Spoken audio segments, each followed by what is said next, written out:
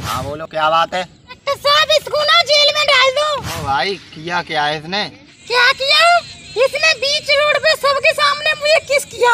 हाँ भाई सच कह रही है। हाँ, इंस्पेक्टर साहब मेरे से गलती हो गई। गलती नहीं बेटा या तो हज़ार रुपए जुर्माना भरेगा या तो जेल जाएगा। इंस्पेक्टर साहब मेरे पे ना दो हज़ार का नोट है। आप कहे तो इक्कीस और ले लूँ।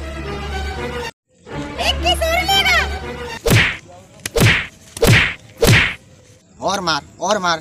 साले दो या छोड़ तो ये तो उम्र कैद कराऊँगा, उम्र कैद। माफ़ कर दो मालिक अब ना करो ज़िंदगी में ऐसा, हज़ार रुपये खुले ले आऊँगा